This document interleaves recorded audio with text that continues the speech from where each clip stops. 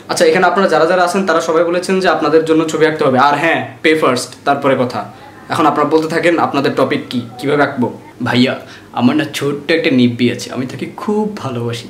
এখন তার জন্য না আমার পড়াশোনা হচ্ছে না। মানে আমি তার সাথে সারাক্ষণ মেসেঞ্জারের কথা বলি। এখন আমি চাচ্ছি আপনি তার একটা সুন্দর করে ছবি এঁকে দেবেন। সেটা আমি পড়ার টেবিলে লাগাবো আর পড়াশোনা করব। তার ছবি দেখলে আমার অনেক পড়তে মন চায়। ভাই আমারটা শুনেন।